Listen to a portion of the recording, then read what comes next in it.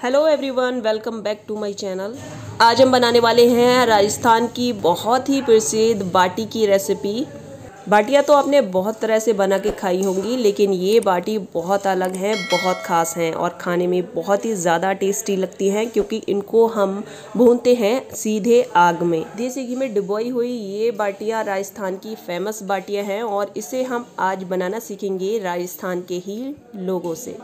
आज का ये वीडियो अगर आपको पसंद आए तो लाइक शेयर ज़रूर कर दीजिएगा। चलिए इस मज़ेदार सी रेसिपी को बनाना शुरू करते हैं।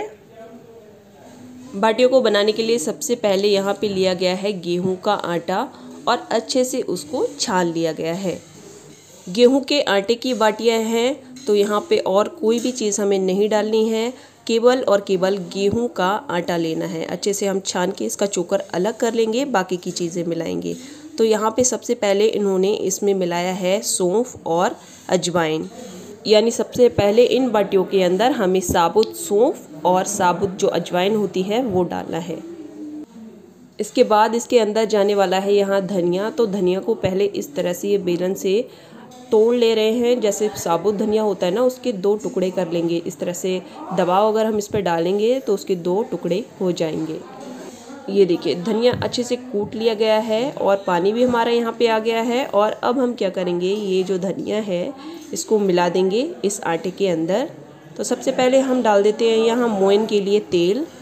इससे जो हमारी बाटियाँ हैं, बहुत ही ज़्यादा ऊपर से खस्ता होंगी और अंदर से बहुत सॉफ्ट होंगी। तो ये देखिए, धनिया इसमें मिला देते हैं। ध्यान रहे कि जब भी आप ये बाटियाँ घर पे बनाएँ, साबुत मसाले डालने हैं मतलब पिसा हुआ सोप, धनिया नहीं डालना है। साबुत इस तरह से डालेंगे तो उनका खाने का स्वाद बहुत ही ज़्यादा अच्छा आएगा। और ये देखिए, अब इन सारी चीज़ों को अच्छे से मिक्स कर लिया है इन्होंने और थोड़ा थोड़ा पानी डालते जा रहे हैं और इसका आटा लगाना शुरू कर दिया है। यहाँ पे ये आटा बहुत सारे लोगों के लिए बन रहा है, बाटियाँ बहुत सारे लोगों के लिए बन रही हैं, इसलिए ज़्यादा आटा लिया है। आप अपने हिसाब से कम आटा भी ले सकते हैं। और ये देखिए, इस तरह से थोड़ा थोड़ा करके आटा यहाँ पे गुद रहा है और आटा एकदम टाइट लगाना है। बहुत ज़्यादा पतला आटा यहाँ पे नहीं लगाना है। जैसा हम पूड़ियों के लिए आटा रखते हैं ना, एकदम टाइट बिल्कुल वैसा ही आटा हमें यहाँ पे लगाना है। और ये देखिए, सारा आटा यहाँ पे लग गया है और इसकी बाटियाँ बनाना शुरू हो गई हैं। तो इस तरह से गोल गोल इसकी बाटियाँ बनाना है। जिस तरह से हम पेड़ा बनाते हैं ना, उससे बड़ा पेड़ा बना के तैयार करना है। और हमारी एकदम चिकनी बाटियाँ यहाँ पे बन के तैयार हो जाएँगी। ये देखिए किस तरह से ये बना रही हैं इन बाटियों को। बाकी का जो आटा है, वो भी इसी तरह से हमें गूंदना है, गूंदते जाएँगे और उधर यहाँ पे ये बाटियाँ बनना शुरू हो गई हैं और ऐसी ही सारी बाटियों को बना लेना है। चलिए अब आगे देखते हैं हमें क्या करना है। तो ये देखिए यहाँ पे आग जलाई गई है और हमारी जो बाटियाँ हैं, वो भी सारी तैयार हो गई हैं। और यहाँ पे जो आग है हमारी, वो भी अच्छे से जल गई है। और अब इस जलती हुई आग में हमारी जो बाटियाँ हैं, उन्हें रखा जाएगा, लेकिन उससे पहले इस आग को हल्का ठंडा कर लिया जाएगा, जिससे जो बाटियाँ हैं हमारी जले ना। ये देखिए, एक तरफ़ की आग जो है, बिल्कुल ठंडी कर ली है। इतनी ठंडी है ये कि जब हम इसमें बाटियाँ डालेंगे तो वो जलेंगी नहीं। और उसकी गर्माहट से ये अंदर तक अच्छे से सिक जाएँगी। तो जैसे हमने ये बाटियाँ डाली हैं, बिल्कुल सेम इसी तरह से जितनी भी तैयार बाटियाँ हैं, इनको हम डाल देंगे इस आग के ऊपर। और बाटियों को डालने के बाद किसी भी लकड़ी वगैरह से इस तरह से इसको तुरंत पलट देना है। ये देखिए किस तरह से यहाँ पे पलटा जा रहा है, इसे काफ़ी गर्म है, ये हाथ से पलटना सही नहीं है क्योंकि हाथ जल भी सकता है। इसीलिए लगातार इस तरह से डालते जाएँगे हम बाटियों को, और जैसे ही नीचे से हल्की सी बाटी सिकेगी, उसको साथ के साथ पलटते जाएँगे।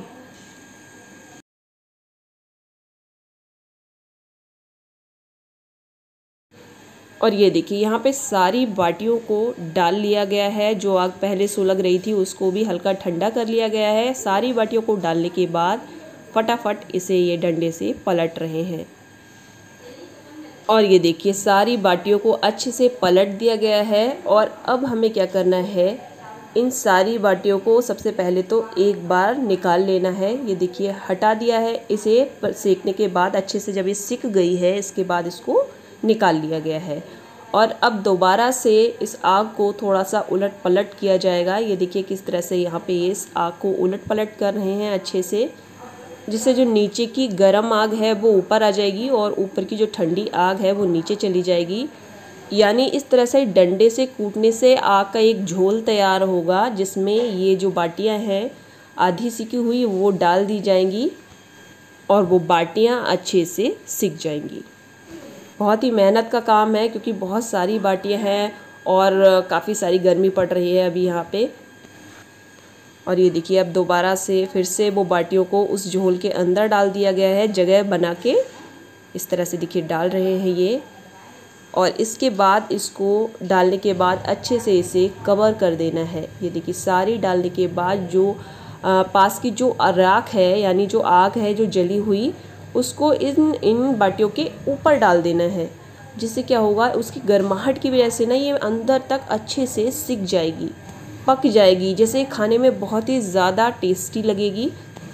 तो देखिए यहाँ पे भैया अच्छे से इसे कवर कर रहे हैं जो आग है उनसे और इसी तरह से लगभग आधा घंटे के लिए इन्हें दबा के रख दिया जाएगा आग में।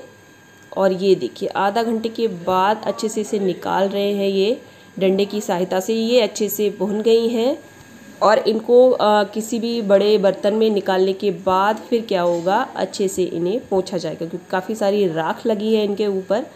तो ये देखिए पहले तो इसको निकाल लेते हैं। और अभी ये बाटियाँ ना बहुत ज़्यादा गर्म हैं। तो जब निकाल लेंगे तो हल्की ठंडी भी हो जाएँगी।